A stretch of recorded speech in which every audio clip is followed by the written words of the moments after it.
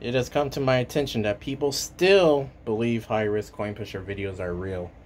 Whether it's Joshua Bartley, What the Hales, or any other smaller channel trying to get in the current trend.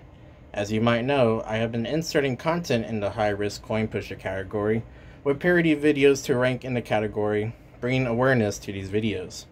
Even after tilting my machine to win everything, using a metal clothes hanger to pick items out of the machine, and doing buy-ins using humans' organs like a sliver of liver and the right kidney, I still get people wondering if these videos are real or not, including mine. They are all fake. All of them. We have a group within the coin pusher community that have been doing research for quite some time, even way before I bought this coin pusher. We have taken notes and snapshots of everything, reviewing videos, trying to understand the lies they tell you to convince you that these videos are real, such as the gold and the items they use in the coin pushers, we can provide a link to everything.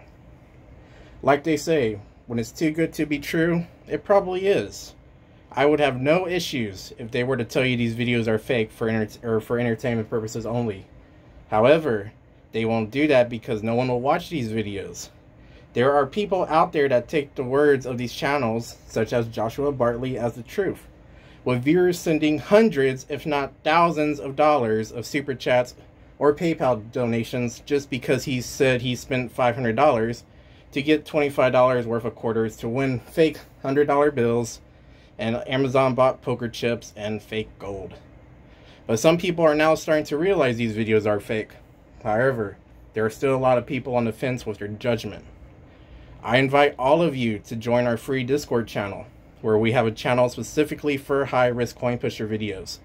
Please give us a time to explain why these videos are fake, debunking everything they have said over the time. I will include a Discord link in the description box down below of this video.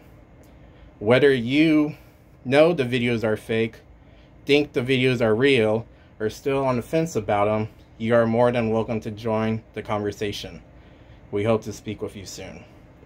And before I go, I just want to do a quick shout out to Joshua Bartley, who recently said he'll be taking a break from high risk coin pusher videos. We really hope he enjoys his long deserved break. Take as much time as you need, and rest assured, we will still be here when you return.